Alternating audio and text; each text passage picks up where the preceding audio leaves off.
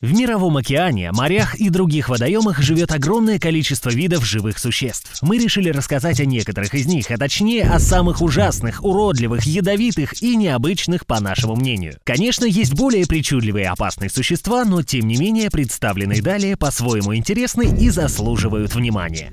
Хаулиодовые – это самые страшные глубоководные хищники. У них длинное тело, как у змеи, но с плавниками. Ужас наводит их голова с огромными зубами, загнутыми вовнутрь и выступающими за границы челюсти. Эти рыбы питаются другими живыми существами, в том числе и большими рыбами, на которых они бесстрашно нападают. На спине у них есть специальные фосфорисцирующие области. Считается, что они служат для распознавания свой-чужой. Они могут набивать пищу в свой желудок про запас. Размер и толщина рыбы при этом увеличиваются в два раза. Обитают на глубинах 2000 метров, но есть подтверждение их встречи на глубинах до 4000 метров. Средняя длина рыбы в зависимости от подвида около 50 сантиметров. Вес рыбы 5 килограммов. Бородавчатка считается самой опасной рыбой в мире. Это, безусловно, самая ядовитая рыба. Бородавчатка населяет коралловые рифы в первую очередь, но также ее можно найти спящей в грязи или песке в Индо-Тихоокеанском регионе и северных водах Австралии. Питается рыба креветками и мелкими рыбами. Бородавчатка имеет ряд из 13 ядовитых шипов на линии спины, которые защищают ее от нападений со стороны акул и скатов. При давлении на шипы железа выделяет яд, жертва поражается и даже погибает. Через несколько несколько недель железы регенерируют новый яд. Бородавчатка является смертельно опасной для человека. Шипы могут пробить кожу ноги и даже тонкую подошву обуви. После укуса возникает мучительная боль и большой отек. Вокруг укуса ткань начинает отмирать. Глубина проникновения определяет тяжесть симптомов. Если не обратиться к врачу, смерть наступит 100%. Гигантская акула. Скелет гигантской акулы состоит из хрящей, а не из костей, из которых состоит скелет рыб. Тем не менее, это рыба. Гигантская акула является классическим примером того, почему вы никогда не должны судить о книге по ее обложке. Ожесточенный вид этого монстра — единственное, что помогло ей попасть в наше видео. На самом деле, гигантская акула не представляет угрозы для людей вообще, если ее не трогать. Она является второй по величине после китовой акулы. Питается эта акула в основном планктоном и мелкими живыми существами, плавающими в воде. Она плывет с широко открытым ртом, и все, что попало в рот, то и съедено.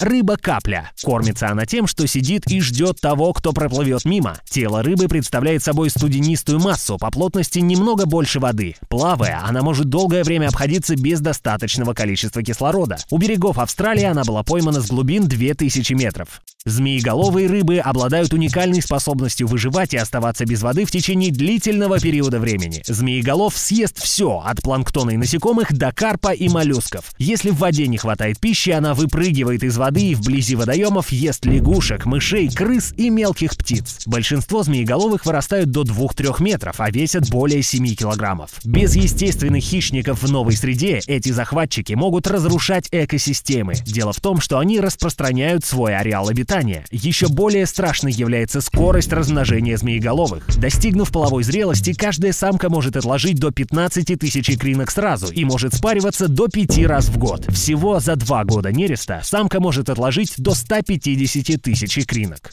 Рыба-гренадер или малоглазый макрокус. Гренадер-рыба обычно обитает чуть выше дна океана. У нее огромная голова, большие глаза и длинный сужающийся хвост. Гренадеры плавают медленно, исследуя морское дно в поисках добычи. Некоторые особи могут достигать в длину до 2 метров, хотя средняя длина их 110 сантиметров. Вес отдельных самых больших особей может быть около 20 килограммов. Стандартный вес большинства — 10 килограммов. Это глубоководная рыба, она может обитать на глубинах до 2000 метров. Интересный факт. Гренадер не пахнет рыбой. Гренадер начинает давать потомство только с 5 лет, но и живет при этом более 20 лет в зависимости от ареала обитания. Обыкновенная тигровая рыба. Эта рыба обитает в основном в Африке, во всех реках и озерах. Это хищная рыба, родственник пираний, но намного большая по размеру. Питается всем, что попадает в пасть из живого мира. Средняя длина рыбы около 1 метра, вес до 30 килограммов. Опасно для человека, может укусить или даже откусить часть кожи. Акула гоблин отличается от своих собратьев длинным носом, имеет розоватую окраску и обитает преимущественно на больших глубинах. Больше всего изучен этот вид акул, обитающий вблизи Японии. Опасно для человека, как и все хищные акулы, но ввиду того, что она обитает на глубинах, недосягаемых для солнечных лучей, встретиться с ней у простого отдыхающего нет никаких шансов. Питается кальмарами, крабами и глубоководными рыбами. Особи акулы достигают в длину до 13 метров и весят до 660 килограммов.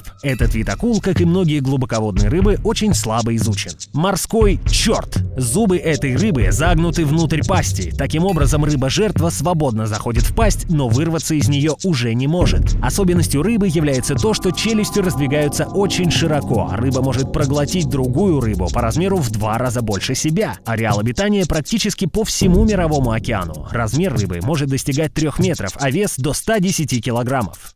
Ремень рыба – это самая длинная костистая рыба. Ее длина может достигать 9 метров. Ее редко видят живьем, она обитает в глубинах океана, питается планктоном и всплывает только когда умирает. Впервые была поймана вблизи Бермудских островов в 1860 году. Другой экземпляр в 1996 вытащили на берег в Калифорнии американские военные моряки. Он достигал 7 метров в длину. Ремень рыба – глубоководная рыба, встречающаяся в теплых и умеренно теплых водах Тихого, Атлантического и Индийского океанов на глубине от 50 до 700 метров и иногда попадающиеся на поверхности. Отдельные экземпляры находят выброшенными на берег после шторма. Обычная ванделия или кандиру является одной из самых опасных рыб в мире, возможно, даже самой опасной рыбой в природе. Обитает эта рыба в реке Амазонке в Южной Америке. Рыба достигает 2,5 см в длину и 3,5 мм в ширину. Чешуя рыбы прозрачная, в воде ее увидеть практически невозможно. Жаберные крышки покрыты короткими острыми шипами. Это паразит других рыб, она питается кровью. Ванделия подплывает к другой рыбе со стороны жабр, и как только у жертвы открывается открываются жабры для выпуска воды, Ванделия ныряет в них и цепляется шипами. Она прогрызает отверстие и сосет кровь. Эта рыба опасна для человека тем, что может попасть внутрь него через любое отверстие, например, через мочеполовые органы. Там она питается кровью и тканью. Удалить ее можно только посредством операции. На этом все. Ставьте лайки, подписывайтесь на канал и посмотрите два предыдущих выпуска.